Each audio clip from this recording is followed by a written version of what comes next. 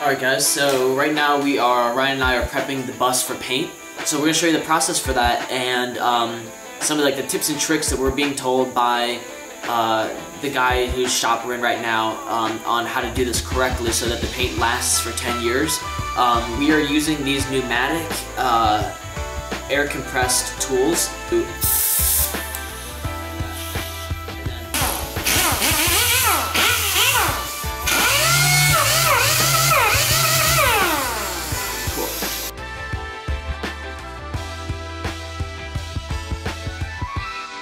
So you can see the gloss in this one still, um, based off the reflections here.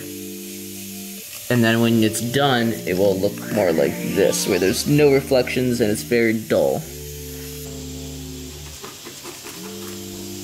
So Ryan and Ben just got the back door done while I was up front uh, sanding the rest of the paint off, uh, and it looks really good. The, the reason why we had to redo the back door is because the lower portion of it was uh, rusted out. So what Ben did was he used a combination of cutoff wheel, which is this, um, air powered, uh, to cut the bottom of the door off. And then he took a grinder like such, uh, and you know, ground the rest of the rust off that he wasn't able to cut. Um, and then after that, it was a combination of riveting in new panels and welding in new panels. Uh, the welds are on the inside here. You can't see them because he putted over them.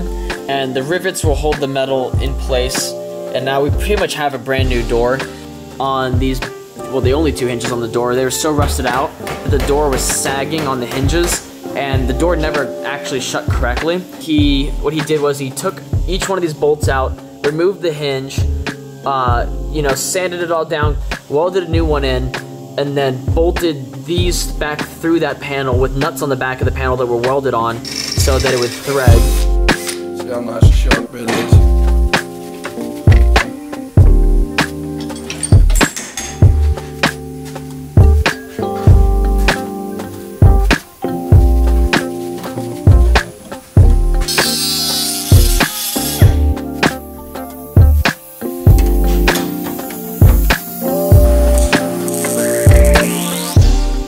Did the same thing with this hinge down here.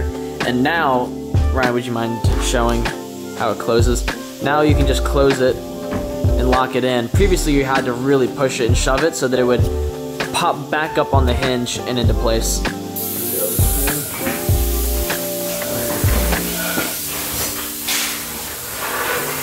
The bus is getting really close and it looks, you know, a lot different than it did when we first brought it in. A lot more sanded down, a lot more exposed metal.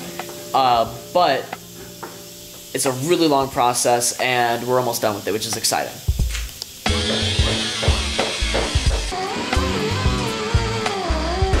Now what we're doing here now, there was a, a bad rust uh, problem here.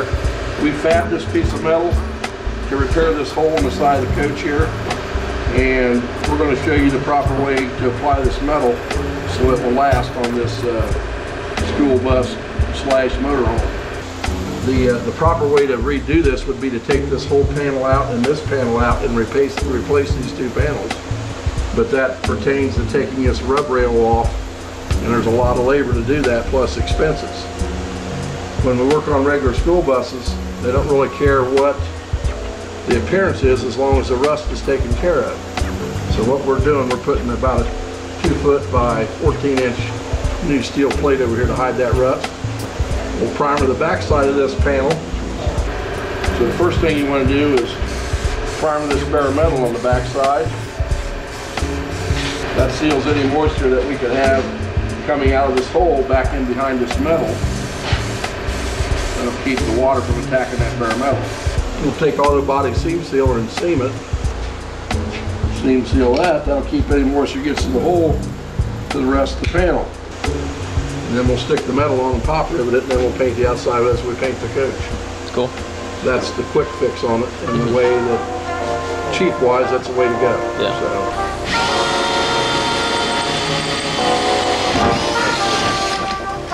You notice the seam seal losing out the side of the metal.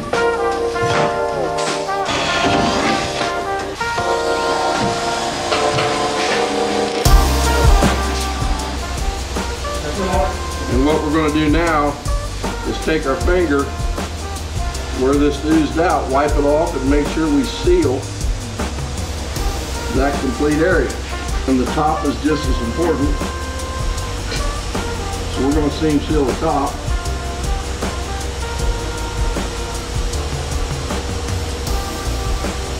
Now we're going to take some of this seam seal, fill the rivet holes, keep the moisture from getting in those also.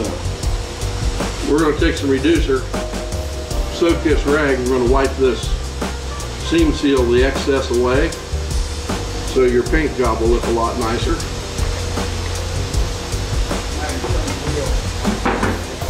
Then you just take your rag and wipe over the surface and you have a sealed panel now. You can see the excess once we get the back undercoated where that should make this coat stand up in any weather conditions. But this little time and effort that you're putting into this will make your job last longer. And if you don't get everything sealed, your rust can run from behind these rails over your freshly painted area and cause your paint job to have rust stains. Before we paint this coat, we will go and seam seal the top and the bottom of these rub rails to keep that from happening. The steel is not etched. So we're going to take some 220 grit sandpaper and DA and Scotch-Brite this panel. All new metals have oil built into it to preserve it from rusting. We're going to knock that coat of oil off so we get good adhesion with the primer and the paint. You have a shiny spot, take, there's a possibility your primer will not etch. To apply an etching primer.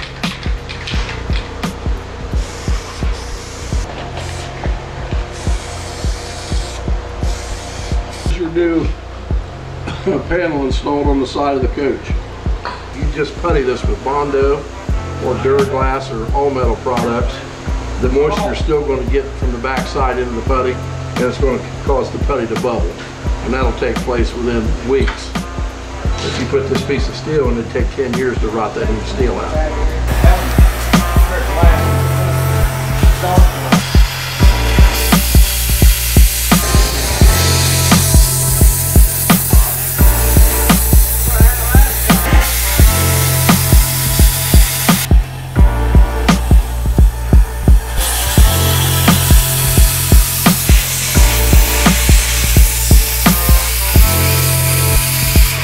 This would work, wouldn't it? Yeah.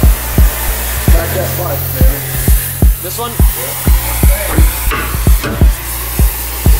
There it is.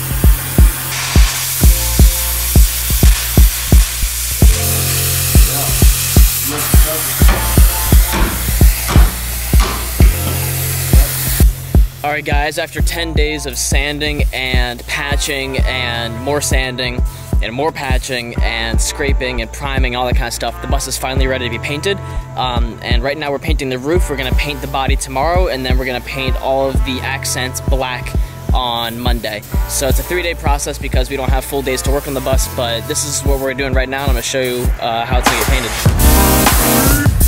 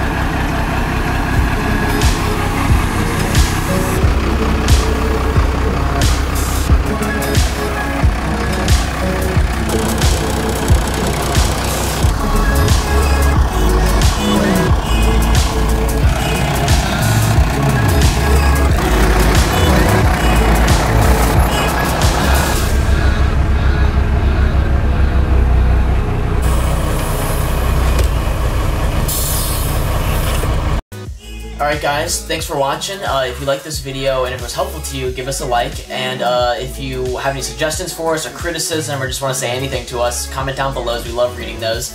Uh, and also, if you want to stay the most up to date on our build in general, follow us on Instagram because we're about one to two weeks ahead since it takes so long to make YouTube videos. So, thanks again for watching and we'll see you around soon.